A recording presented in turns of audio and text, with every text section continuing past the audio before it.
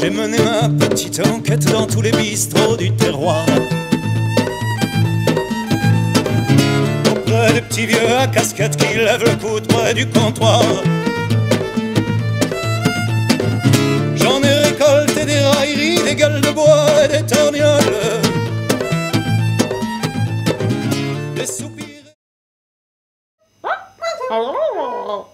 Producciones.